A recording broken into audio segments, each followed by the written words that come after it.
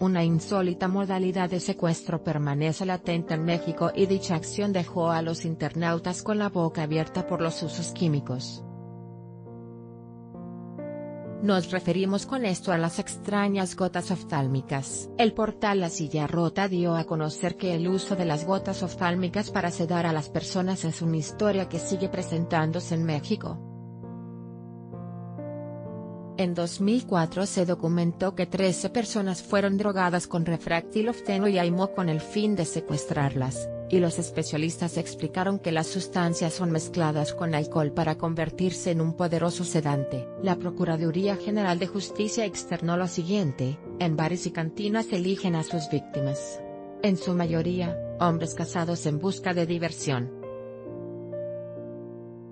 En pequeños bolsos de mano esconden gotas oftálmicas que al menor descuido agregan a las bebidas o las untan en sus senos generando efectos mortales mezclados con el alcohol. A la fecha, 44 robos y 13 homicidios se suman al listado de crímenes imputados a mujeres de la vida galante que trabajan en una red de hoteles.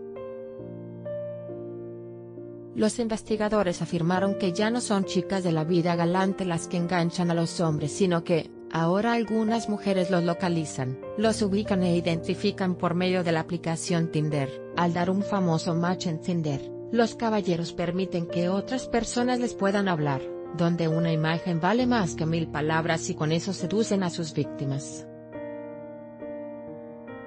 Los especialistas afirmaron que, al concretar el encuentro, algunas personas dedicadas al secuestro usan refractil una droga cuyos efectos causan adormecimiento de los sentidos, alucinaciones y euforia.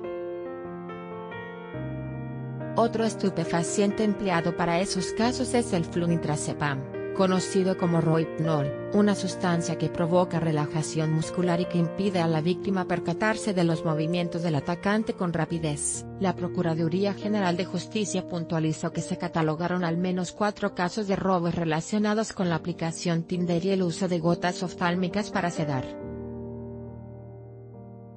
La instancia de seguridad invitó a los internautas a no fiarse de las aplicaciones para conocer gente y a evitar consumir bebidas procedentes de extraños. Fotografía, Twitter con información de la silla rota anímate a comentar.